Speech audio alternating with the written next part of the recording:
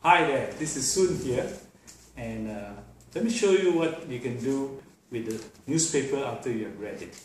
Um, usually uh, after you read the newspaper, especially some portions that uh, you think they are not interesting anymore. For example, in today's paper, um, we look at the uh, stock pages. This is last week's stock pages, so there's not much use of it anymore. What you can do is take a scissors and then um, for example, you can just cut a strip out of it, like what I'm doing here now.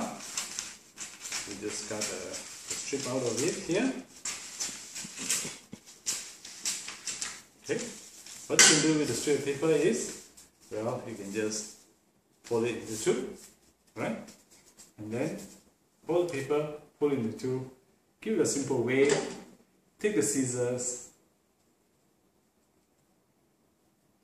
give it a nice cut, hold it and says, voila, the paper is still intact. Isn't that interesting? I said hey, that can't be. So let's cut it again. And then I cut another strip.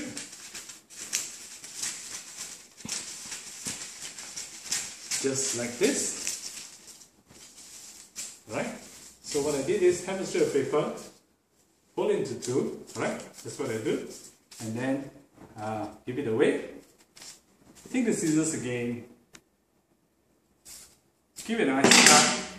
Hold it and say, voila, the paper is still intact. Isn't that interesting?